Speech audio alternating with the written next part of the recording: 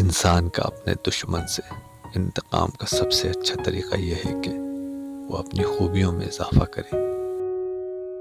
چپ سے بڑی کوئی بد دعا نہیں۔ انسان جب بولتا ہے تو قدرت خاموش رہتی ہے، اور جب بندہ خاموش ہو جاتا ہے تو قدرت انتقام لیتی ہے۔ معافی ایک نہایت اچھا انتقام ہے۔ مرد اگر عورت سے انتقام لیتا ہے اس کی عزت خراب کر دیتا ہے یا اس کے کردار کو معاشرے کے لیے مشکوک بنا دیتا ہے۔